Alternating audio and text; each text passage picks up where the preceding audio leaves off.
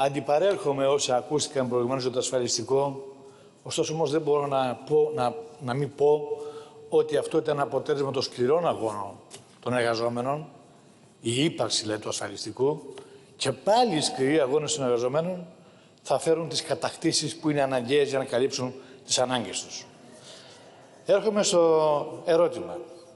Με τη δημοσιοποίηση της είδησης για κρούσμα COVID-19 στο κεντρικό κτίριο του Υπουργείου Εργασίας, αναδείχθηκε ο βαθμός υποβάθμισης του Σώματος Επιθεωρητών Εργασίας με ευθύνη της σημερινής, αλλά και όλων των προηγούμενων κυβερνήσεων.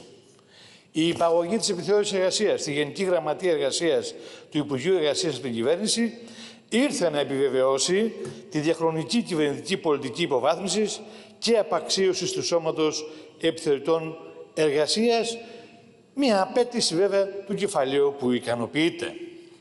Θέλουμε να σημειώσουμε εδώ ότι δεν είναι ε, τυχαία η δημοσιοποίηση της 7ης έκθεσης της ενισχυμένης εποπτείας που εγκρίθηκε πρόσφατα από την Κομισιόν που με βάση αυτή προκύπτει ότι η αρμοδιότητα των εργατικών διαφορών, διαφορών περνάει στον ΟΜΕΔ.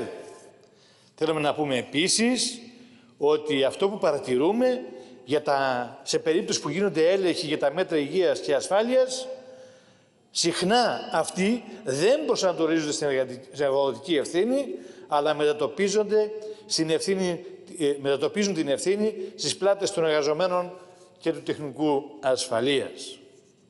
Δεν υπάρχει κανένα σχεδιασμός και καμιά πρόβλεψη για μαζικούς ελέγχους σε χώρους εργασίας δεν έχει γίνει καμία καμπάνια. Οι μόλις 750 υπάλληλοι που απέμειναν να στελεχώσουν το σώμα επιθεωρητών ουσιαστικά έχουν μετατραπεί σε φορέα εξυπηρέτησης του πληροφοριακού συστήματος Εργάνη, όπως οι ίδιοι καταγγέλουν. Το 2019 υπηρετούσαν σε ολόκληρη την Ελλάδα μόνο 220 επιθεωρητές υγείας και ασφάλειας στις μάχημες υπηρεσίες της πρώτης γραμμής, λιγότεροι από 50 στην Αττική. Για να ελεγχθούν έστω και μια φορά όλες οι επιχειρήσεις θα απαιτούνταν αρκετές δεκαετίες. Η εφαρμογή της εκπεριτροπή εργασίας στις υπηρεσίες έχει ως αποτέλεσμα το κάθε τμήμα της επιθεώρησης να λειτουργεί με έναν ή δύο επιθεωρητές σε καθημερινή βάση έχοντας να καλύψει τεράστιες εκτάσεις με χιλιάδες εργαζομένων. Επί της ουσίας, το Σώμα Επιθεωρητών Εργασίας έχει καταργηθεί και μάλιστα εν μέσω πανδημίας. Και όλα αυτά τη στιγμή που προστασία της υγείας των εργαζομένων και συνολικά του λαού από την πανδημία COVID-19 επιβάλλει τη διενέργεια μαζικών ελέγχων στους μεγάλους χώρους δουλειάς, όπου τα κρούσματα μέρα με τη μέρα αυξάνουν, όπως άλλωστε αποδείχθηκε από τη διασπορά στο νομό Πέλλας, από το εργοστάσιο συσκευασίας στα Γενιτσά, στο Κοροπή και αλλού στη Χαλκιδική. Σε συνθήκε εκδήλωσης του δεύτερου κύματος της πανδημίας, τα υγειονομικά πρωτόκολλα εφαρμόζονται από τους επιχειρηματικούς ομίλους με κριτήριο τα κέρδη και την εξυπηρέτηση των συμφερόντων τους, βάζοντας βέβαια σε κίνδυνο την υγεία και την ασφάλεια των εργαζομένων και του λαού. Αυτό που ρωτάμε είναι πόσοι έλεγχοι σε πόσες επιχειρήσεις ε, έχουν διεξαχθεί το τελευταίο διάστημα από το ΣΕΠΕ, τι πρόστιμα έχουν επιβληθεί σε επιχειρήσεις που ελήψη μέτρων προστασίας θέτουν σε κίνδυνο τη δημόσια υγεία, τι μέτρα προτίθεται να λάβει προκειμένου να στελεχωθεί επαρκώς το Σώμα Επιθετών Εργασίας με μόνιμους διορισμούς ώστε να καλυφθούν οι τεράστιες διαχρονικές ανάγκες, τι σχεδιασμός υπάρχει από το ΣΕΠΕ για μαζικούς ελέγχους; Και αν προτίθεται να καταργήσει το νόμο που κατέστησε το ΣΕΠΕ μια απλή διεύθυνση του Υπουργείου, της οποίας ο επικεφαλής δεν έχει δικαιοδοσία ούτε και τις άδειες των υπαλλήλων.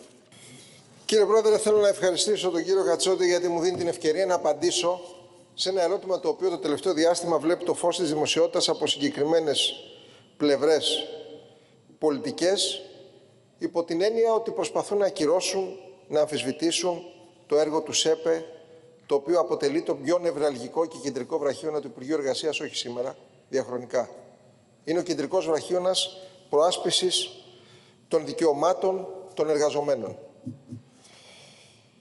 Θέλω λοιπόν να σε ευχαριστήσω γιατί επιβεβαιώνετε κύριε Κατσότη ότι δεν γνωρίζετε την πραγματικότητα για το ΣΕΠΕ ούτε τη δραστηριότητά του. Και θέλω να σα απαντήσω διαμέσου της κοινοβουλευτικής οδού. Σας λέω λοιπόν ότι η επιθεώρηση εργασίας του ΣΕΠΕ είναι η αρμόδια αρχή που ελέγχει, παρακολουθεί, εποπτεύει και επιβάλλει σε περίπτωση παραβάσεων διοικητικές και ποινικές κυρώσεις, επιχειρήσεις και εκμεταλλεύσεις του πρωτογενούς, γενού και τριτογενούς τομέα. Έργο των επιθεωρητών τους ΣΕΠ είναι η επίβλεψη και ο έλεγχος εφαρμογής των διατάξεων της εργατικής νομοθεσίας, καθώς και η έρευνα της ασφαλιστικής κάλυψης και παράνομης απασχόλησης των εργαζομένων. Σημειώνω δε ότι ο ρόλος τους, εκτός από ελεκτικός, είναι ταυτόχρονα και συμφιλωτικός και συμβουλευτικός και καθοδηγητικός. Τώρα, όσο αφορά τους ισχυρισμούς σας για τη δίθεν κατάργηση τους ΣΕΠ την περίοδο της πανδημίας, δεν έχω παρά να παρατηρήσω τα εξής. Πρώτον, καθ' όλη την περίοδο της πανδημίας COVID-19, το Υπουργείο Εργασίας και Κοινωνικών Υποθέσεων, πέρα από τη στήριξη της απασχόλησης των εργαζομένων, είχε ως βασική προτεραιότητα την προστασία της υγείας και, ασφάλισης, και ασφάλειας στους χώρους εργασίας. Το ΣΕΠΕ ως ο κατεξοχήν ελεκτικός μηχανισμός του Υπουργείου Εργασίας και Κοινωνικών Υποθέσεων την περίοδο της πανδημίας διενήργησε εκτεταμένους ελέγχους εφαρμογής τόσο της υφιστάμενης νομοθεσίας για την ασφάλεια και την υγεία στην εργασία, όσο και των έκτακτων εξειδικευμένων μέτρων δημόσιας υγείας και υγειονομικών πρωτοκόλων, τήρηση αποστάσεων, χρήσης μάσκας και τα υπόλοιπα για την αποτροπή της διάδοσης της πανδημίας. Δεύτερον, επιπλέον οι επιθεωρητές του ΣΕΠΕ συγκαταλέγονται μεταξύ των οργάνων ελέγχου που φροντίζουν για τη διασφάλιση εφαρμογής των ανωτέρω εκτάκτων και κατεπηγόντων μέτρων δημόσιας υγείας για την αντιμετώπιση του κινδύνου της διασποράς της λίμωξης COVID-19. Και τρίτον, μάλιστα, στο πλαίσιο της αντιμετώπισης των έκτακτων συνθήκων στην αγορά εργασίας λόγω του COVID και προς την κατεύθυνση της βελτίωσης του εργασιακού περιβάλλοντος για τους εργαζόμενους και το συγκεκριμένο χρονικό διάστημα, δόθηκε ιδιαίτερη έμφαση στον έλεγχο της στήρησης των αναστολών εργασίας καθώς και του προγράμματος συνεργασία, ενώ προφανώς στις περιπτώσεις που διαπιστώθηκαν παραβάσεις επευλήθηκαν οι προβλεπόμενες κυρώσεις. Επιπρόσθετα, σας αναφέρω ότι το ΣΕΠΕ παράλληλα με το ελεκτικό του έργο, στο πλαίσιο του συμβολευτικού και καθοδηγητικού του ρόλου προς εργοδότες και εργαζόμενους από την πρώτη στιγμή, παρήχε ενημέρωση μόσου της έκδοσης δεκάδων και πλήθους δελτίων τύπου και εγκυκλίων οδηγιών. Συμμετείχε σε συναντήσεις που διοργανώθηκαν από τις τοπικές περιφέρειες για την εφαρμογή υγειονομικών πρωτοκόλων και το συντονισμό των αρμόδιων ελεκτικών μηχανισμών με στόχο την καλύτερη δυνατή αντιμετώπιση του προβλήματος σε συνεργασία με την Εθνική Αρχή Διαφάνειας, την Ελληνική Αστυνομία διενέργησε εκτεταμένους ελέγχους σε όλη την επικράτεια. Συνεπώς το ΣΕΠΕ όχι μόνο καταργημένο και υποβαθμισμένο δεν είναι, αντίθετα είναι πιο ισχυρό και πιο στελεχωμένο από ποτέ, όπως στη δευτερολογία μου θα σας παραθέσω τα στοιχεία. Σε κάθε περίπτωση, αγαπητέ κύριε συνάδελφε, δεν μπορώ ειλικρινά να κατανοήσω τους χειρισμούς σας περί δίθεν ανύπαρκτου σχεδιασμού και πρόβλεψη για ελέγχους, ισχυρισμούς που θα αποδείξω ως αβάσιμους, ατεκμηρίωτους και αναλυθείς με τα στοιχεία που θα παραθέσω στη δευτερολογία μου. Ευχαριστώ πολύ.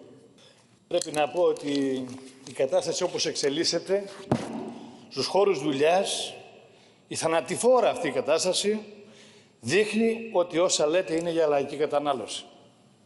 Η συστηματική υπονόμευση από όλες τις κυβερνήσεις της επιθεώρησης εργασίας έχει ως αποτέλεσμα την αδυναμία ουσιαστικής εφαρμογής της όποιας ελλειπού νομοθεσίας.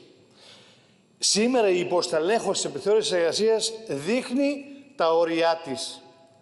Είπα και στην πρωτολογία μου, σύνολο 750 σε όλη την Ελλάδα που υπηρετούν και το 2019 220 επιθεωρητές εργασίας ε, υγείας και ασφάλειας και στις, μάχες, στις μάχημες υπηρεσίες, στις μάχημες υπηρεσίες της πρώτης γραμμής. Στην Αττική, που εδώ είναι συνολικά πολλοί εργαζόμενοι, είναι 50. Κύριε Υπουργέ, λέτε ότι πήρατε μέτρα σε σχέση με τον COVID. Το κάλεσμα που κάνετε για αποφυγή του συνοστισμού σταματά έξω από τις πύλες των εργοστασίων και των υπηρεσιών. Και βέβαια δεν έχει καμία σχέση η κατάσταση στα μέσα μαζικής μεταφοράς με αυτό που ισχυρίζεστε. Ελλειπής είναι και η καταγραφή των εργατικών ατυχημάτων στη χώρα μας. Ακόμη και αυτά τα ατυχήματα που καταγράφονται δεν δημοσιοποιούνται έγκαιρα. Και εδώ οι ευθύνες σας είναι μεγάλες.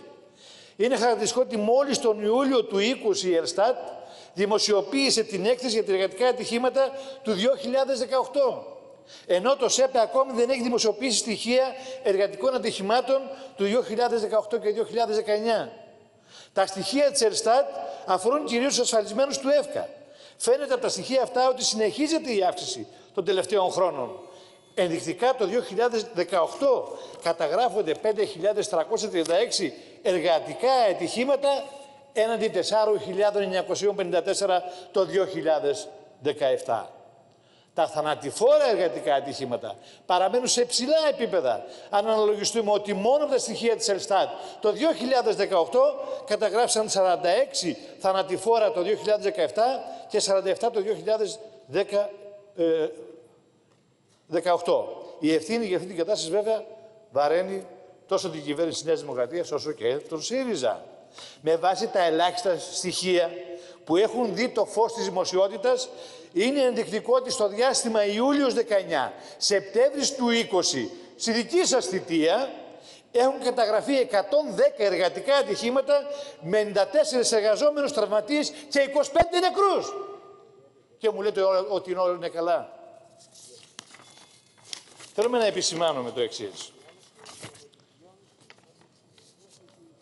ότι εκατοντάδες χιλιάδες είναι οι εργαζόμενοι που εξακολουθούν να εργάζονται δίχως να τηρούνται τα συγκεκριμένα μέτρα προφύλαξης για την πανδημία. Ενώ σε πολλούς χώρους δουλειάς δεν τηρούνται στοιχειώδη μέτρα, όπως καλός εξαρισμό, συχνές απολυμάνσεις, τήρηση των αποστάσεων των εργαζομένων μεταξύ τους, καθαριότητα. Εδώ δεν υπάρχει κανείς έλεγχος. Οι ευπαθείς ομάδες βρίσκονται σε πιο δύσκολη θέση. Ιδιαίτερα σε χώρους που μπορεί να λειτουργήσουν, επιβαρημένους βέβαια, που μπορεί να λειτουργήσουν πολλαπλασιαστικά στον τρόπο επίδρασης του ιού και στην εμφάνιση σοβαρών συμπτωμάτων. Εξάλλου, μέσα από την ποινική που κάνατε, δυσκολεύσατε ακόμα περισσότερο τη δουλειά των ευπαθών ομάδων. Αν και με βάση την νομοθεσία οι επαγγελματικές ασθένειες θα έπρεπε να καταγράφονται και να αναγγέλλονται στην ε, επιθεώρηση εργασίας, στην πράξη δεν καταγράφονται στη χώρα μας.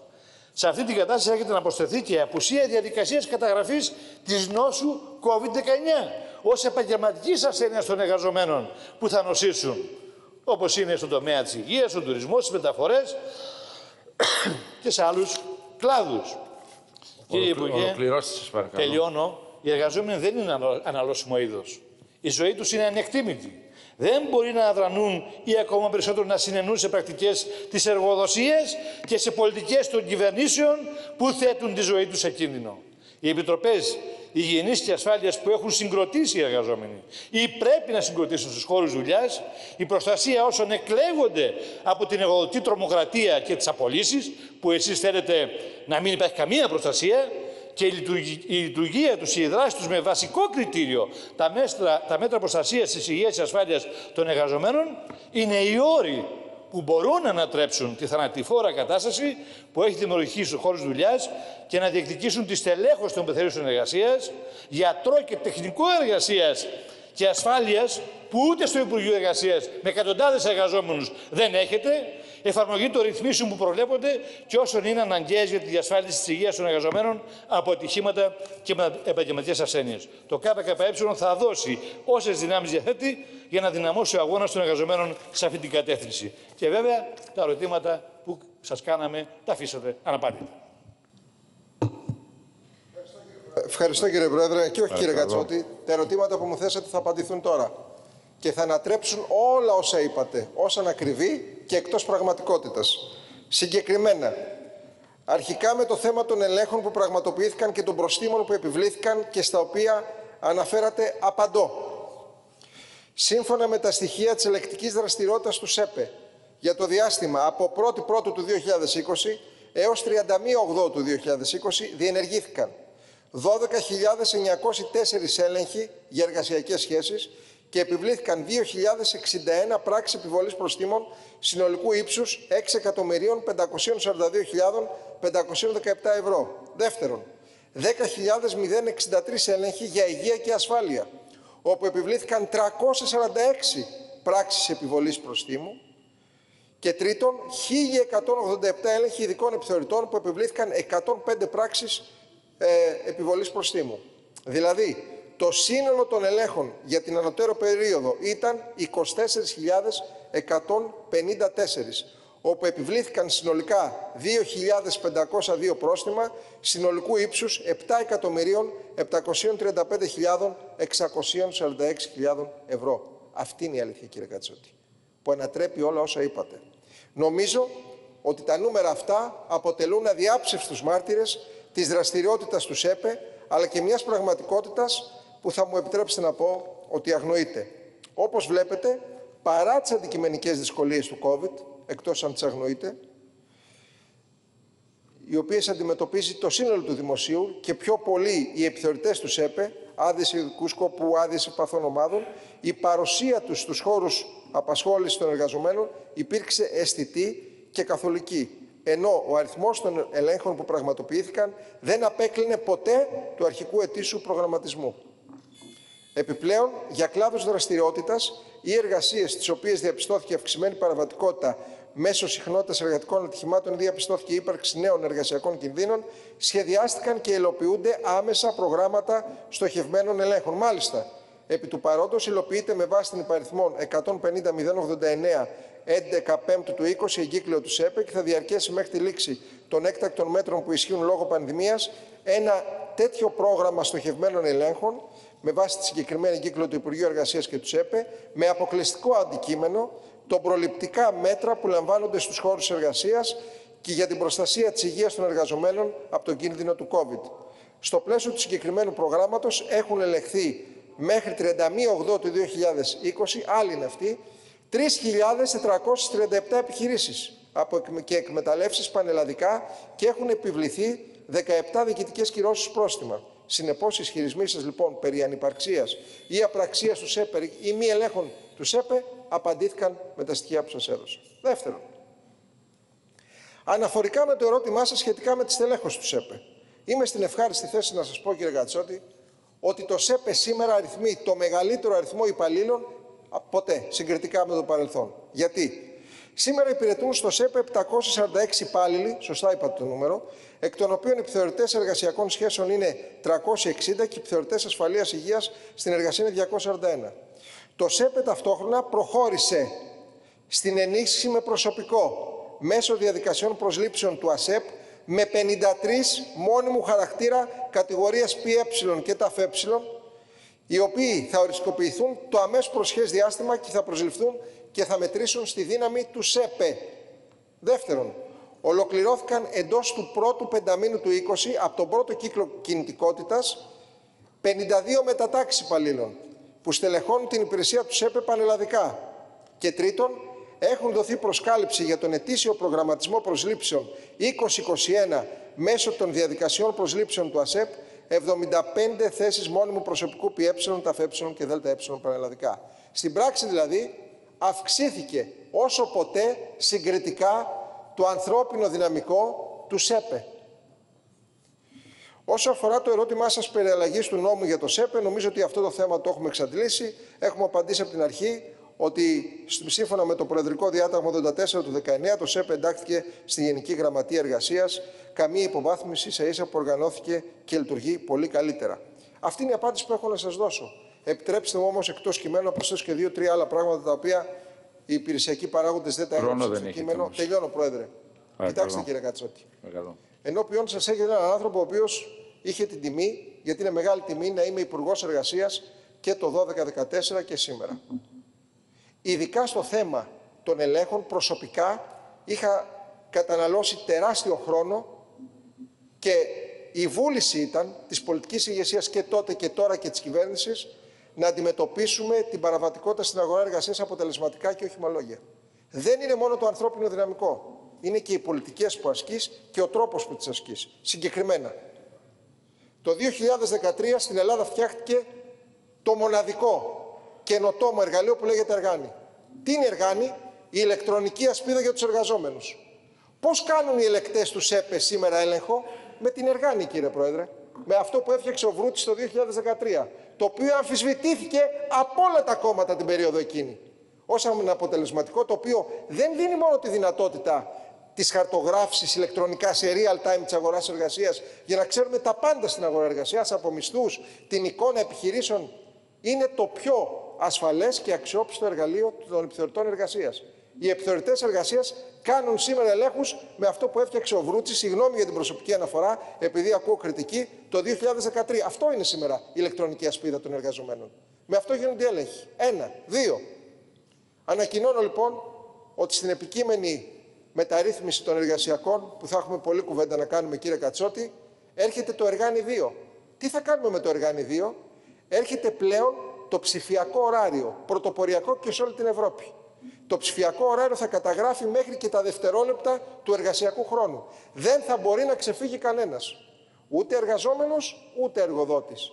Απόλυτη καταγραφή του ωραρίου, συνδυαστικά με την κάρτα του εργαζομένου. Δηλαδή, ιστορικά, αν πάρει κάποιος να δει ποια κυβέρνηση και ποιες πολιτικές ήταν αυτές που προάσπισαν πραγματικά τον εργαζόμενο, διότι αν τους 750 τους ΕΠΕ τους κάνουμε και χίλιους, η αποτελεσματικότητα, αν δεν έχεις τα στοιχεία, δεν θα είναι ίδια με αυτά τα εργαλεία. Τα εργαλεία σου δίνουν τη δύναμη να κρίνεις, να είναι ο ελεκτής απ' έξω και να καταγράφει ποιο είναι το δυναμικό και να ξέρει τα πάντα. Και επιπλέον, θυμίζω ότι ημερών μου μπήκε το πρόστιμο το οποίο αμφισβητήθηκε τότε, το 1500, το οποίο χτύπησε στη ρίζα την αδήλωτη εργασία. Θυμίζω ότι τον Ιούνιο του 2013 η αδήλωτη, κύριε Αλεξιάδη, κύριε Τρίφωνα Αλεξιάδη, ήταν 42,3% τον Ιούνιο του 2013.